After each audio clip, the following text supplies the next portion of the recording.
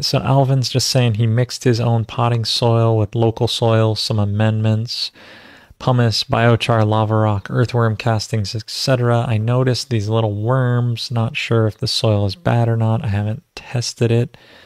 Um, you know the the key like eh, so so let me let me jump back so i, I want to go into this um this presentation here of natural farming that that we've been doing over the past couple weeks.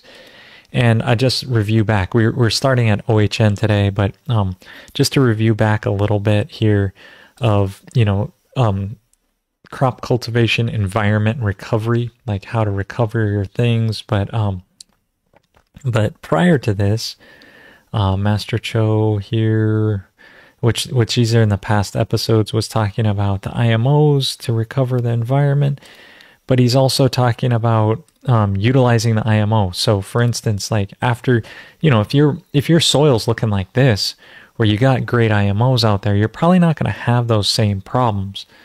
Um, you're gonna you know, you've got enough microorganisms in there. So how do you get something that looks like this? Well, you spread the IMO over the surface like she's doing here.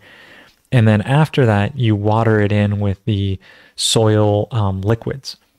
And so here, you know, if you have um, without successive disorder, one week before planting your seeds, you put out the IMO 4, and then right after that, you put your soil foundation, which is which is in the book here, um, right here.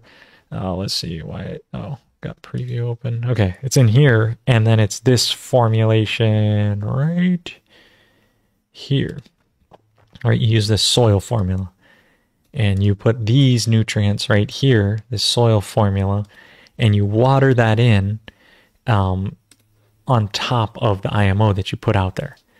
So that's that's what you're wanting to do. So Alvin, if you're having those problems, like put put the IMO on top and then water it in one week before planting, and in that time it should balance out. But if you have successive cropping disorder or you think there's something wrong, it says two weeks before planting, put your put your IMO down two weeks before, and then right after you put the IMO four, put this this liquid formula and then one one week before put the the liquid formula again and it should get rid of those disorders for you so again this is like how to utilize the imo how to put these things out um,